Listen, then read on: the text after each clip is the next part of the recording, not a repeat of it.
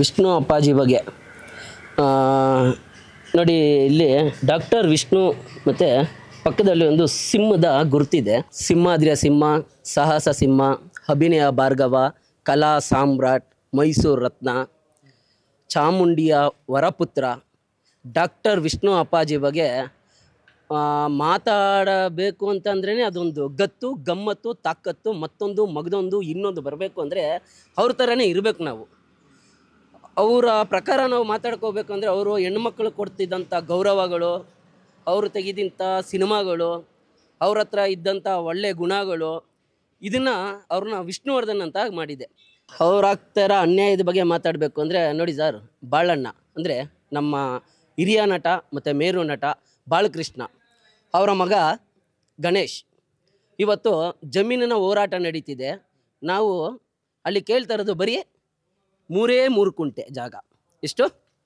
ಮೂರು ಕುಂಟೆ ಜಾಗ. ಯಾಕೆ ಅಂದರೆ ಇದು ವಿಷ್ಣು ಅಪ್ಪಾಜಿನ ಸಮಾಧಿ ಮಾಡಿದಂಥ ಒಂದು ಜಾಗ ಇರೋದ್ರಿಂದ, ಬೆಂಗಳೂರಿನ ಶ್ರೀನಿವಾಸಪುರದ ಒಂದು ಜಾಗ ಇರೋದ್ರಿಂದ ಆ ಜಾಗದಲ್ಲಿ ನಾವು ಕೇಳ್ತಾ ಇರೋಂಥ ಒಂದು ಜಾಗ ಬರೀ ಮೂರು ಕುಂಟೆ. ಈ ಮೂರು ಕುಂಟೆನ ಕೊಡಿ ಅಂದ್ಬಿಟ್ಟು ಬಾಳಣ್ಣ ಅವರ ಫ್ಯಾಮಿಲಿ ಹತ್ರ ಕೇಳ್ತಾ ಇದ್ದೀವಿ. ಅವ್ರು ಇದನ್ನು ಒಪ್ತಾ ಇಲ್ಲ. ಯಾಕೆ ಅನ್ನೋದು ಗೊತ್ತಾಗ್ತಾ ಇಲ್ಲ. ಮತ್ತು ಇನ್ನೊಂದು ಅವ್ರ ಅವ್ರ ಹತ್ರ ನಾವು ಕೇಳ್ತಾ ಇರೋದು ಭಿಕ್ಷೆ ಅಲ್ಲ ಸರ್. ಕರ್ನಾಟಕ ಸರ್ಕಾರ ಪುಕ್ಸಟ್ಟೆ ಕೊಟ್ಟಿರೋ ಜಾಗ ಅದು. ಹನ್ನೊಂದು ಎಕರೆ ಜಾಗನ ಪುಕ್ಸಟ್ಟೆ ಕೊಟ್ಟಿರೋ ಜಾಗ ಅದು. ಅವ್ರಿಗೆ ಯಾವುದೇ ರೀತಿ ಕೊಂಡ್ಕೊಂಡಿರೋ ಜಾಗ ಅಲ್ಲ. ಅಭಿಮಾನ್ ಸ್ಟುಡಿಯೋ ಮಾಡಲಿ ಅಂತ ಹನ್ನೊಂದು ಎಕರೆ ಜಾಗನ ಕರ್ನಾಟಕ ಸರ್ಕಾರ ಪುಕ್ಸಟ್ಟೆ ಕೊಟ್ಟಿರೋಂಥ ಜಾಗ ಅದು. ಅದರಲ್ಲಿ ನಾವು ಕೇಳ್ತಾ ಇರೋದು ಮೂರು ಕುಂಟೆ. ಅದು ಇಡೀ ಕರ್ನಾಟಕದ ಜಗತ್ತು ಹೇಳ್ತಾ ಇದೆ. ಇಡೀ ಕರ್ನಾಟಕದ ಜನತೆ ಹೇಳ್ತಾ ಇದೆ. ಇಡೀ ಕರ್ನಾಟಕ ಸರ್ಕಾರ ಹೇಳ್ತಾ ಇದೆ. ನಿಮಗೆ ಜಾಗದ ಅವಶ್ಯಕತೆ, ದುಡ್ಡಿನ ಅವಶ್ಯಕತೆ ಇತ್ತು ಅಂದರೆ ಇಡೀ ಕರ್ನಾಟಕದ ಅಭಿಮಾನಿಗಳು ಚಂದ ವಸೂಲಿ ಮಾಡಿ ತಂದು ಕೊಡ್ತೀವಿ ಅಂತ ಕೇಳ್ತಾ ಇದ್ದೀವಿ. ಅದಕ್ಕೂ ಅವ್ರು ಒಪ್ತಾ ಇಲ್ಲ. ಏನು ಅನ್ನೋದು ನಮಗೂ ಗೊತ್ತಾಗ್ತಾ ಇಲ್ಲ. ವಿಷ್ಣುವರ್ಧನ್ ತೀರೋದಾಗ ಒಂದು, ಎಷ್ಟು ಸರ್ಕಾರ ಚೇಂಜ್ ಆಗಿದೆ ಸರ್ ಈಗ? ಮೂರು ಸರ್ಕಾರ, ಮೂರು ಮುಖ್ಯಮಂತ್ರಿಗಳು. ಮೂರು ಮುಖ್ಯಮಂತ್ರಿಗಳು, ಇದು ನಾಲ್ಕನೇ ಮುಖ್ಯಮಂತ್ರಿ ಎರಡು ಸಲ ಮುಖ್ಯಮಂತ್ರಿ ಸಿದ್ದರಾಮಯ್ಯ, ಒಂದ್ಸಲಿ ಯಡಿಯೂರಪ್ಪ, ಒಂದ್ಸಲಿ ಎಚ್ ಡಿ ಕುಮಾರಸ್ವಾಮಿ, ಅದಾದ್ಮೇಲೆ ಸಿದ್ದರಾಮಯ್ಯ, ಪುನಃ ಸಿದ್ದರಾಮಯ್ಯ. ನಾಲ್ಕು ಟರ್ಮ್ ನಾಲ್ಕು ಟರ್ಮ್ ಇಲ್ಲಿವರೆಗೂ ಕರ್ನಾಟಕದಲ್ಲಿ ಸಿ ಎಂ ಆದವರು ವಿಷ್ಣು ಅಪ್ಪಾಜಿ ಬಗ್ಗೆ ಕೇರ್ ತಗೊಂತ ಇಲ್ಲ. ಅಂದರೆ ಅಷ್ಟು ಬೇಡದೇ ಇರೋಂಥ ನಟನ ಅಂತ ನನಗೆ ಗೊತ್ತಾಗ್ತಾ ಇಲ್ಲ ವಿಷ್ಣು ಅಪ್ಪಾಜಿ ಬಗ್ಗೆ. ಸರ್, ಮೊನ್ನೆ ಸೆಪ್ಟೆಂಬರ್ ಹದಿನೆಂಟನೇ ತಾರೀಕು, ಅವತ್ತಿನ ದಿನ ಬಾಲಕೃಷ್ಣನ್ ಫ್ಯಾಮಿಲಿ ಹತ್ತು ಗಂಟೆ ಆದರೂ ನಮ್ಮನ್ನು ಒಳಗಡೆ ಬಿಟ್ಟಿಲ್ಲ. ಏನಕ್ಕೆ ಅಂತಂದರೆ ನಾವು ಜಮೀನು ಒಳಗಡೆ ಮಾಡೋಕ್ಕೆ ಬಿಡಲ್ಲ. ನಿಮಗೆ ಮೈಸೂರಲ್ಲಿ ಜಾಗ ಕೊಟ್ಟಿದ್ದೀವಿ. ಮೈಸೂರಲ್ಲಿ ಜಾಗ ಕೊಟ್ಟಿದ್ದೀವಿ ಅನ್ನೋಕ್ಕೆ ಇವರಪ್ಪನ ಮನೆ ಜಾಗನ ಅದು?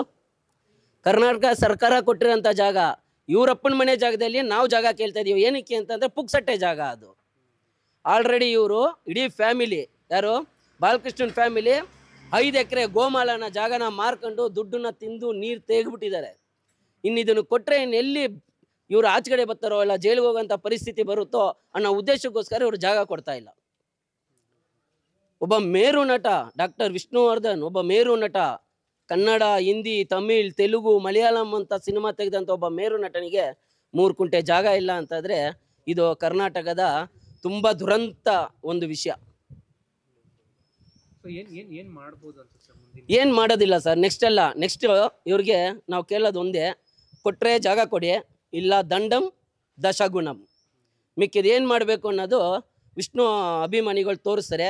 ಅದ್ರ ಬಗ್ಗೆ ನಮಗೆ ಮಾಹಿತಿ ಕೊಡಬೇಕಾಗಿರೋರು ಇದನ್ನು ಏನು ಮಾಡಬೇಕು ಅಂತ ನಮ್ಮ ರಾಜ್ಯಾಧ್ಯಕ್ಷರಾದ ವಿಷ್ಣು ಸೇನಾ ಸಮಿತಿಯ ವೀರಕಪುತ್ರ ಶ್ರೀನಿವಾಸ್ ಅವರು ಒಂದು ಕರೆ ಓಳೆ ಕೊಟ್ಟು ಈ ಜಾಗ ನಮ್ಮದು ನುಗ್ರಿ ಅಂದರೆ ಅದು ಹನ್ನೊಂದು ಎಕರೆ ಜಾಗನೂ ನಮ್ಮದೇ ಸರ್ ಅದು. ಶಾಂತಿಯಿಂದ ಶಾಂತಿ ದೂತನಾಗಿದ್ದಂಥ ಮಹಾನ್ ವ್ಯಕ್ತಿ ನಮ್ಮ ವಿಷ್ಣು ಅಪ್ಪಾಜಿಯವರು ನೀವು ನೋಡಿದ ಮಟ್ಟಿಗೆ ಲಾಸ್ಟಲ್ಲಿ ಅವರು ಅಗಲಬೇಕ ಹಗಲಂಥ ಸಮಯದಲ್ಲಿ ಅವರು ತಲೆಗೆ ಒಂದು ಸಾಯಿಬಾಬನ ರೀತಿಯಲ್ಲಿ ಒಂದು ವೈಟ್ ಅಂದರೆ ವೈಟ್ ಆ್ಯಂಡ್ ವೈಟ್ ಬಟ್ಟೆ ಕಟ್ಕೊಂಡು ಶಾಂತಿ ದೂತನಾಗಿ ಮಹಾನ್ ವ್ಯಕ್ತಿಯವರು ಹಂಗಾಗಿ ಶಾಂತಿಯಿಂದನೇ ಕೇಳ್ತಾ ಇದ್ದೀವಿ, ಶಾಂತಿಯಿಂದನೇ ಕೇಳ್ತಾ ಇದ್ದೀವಿ.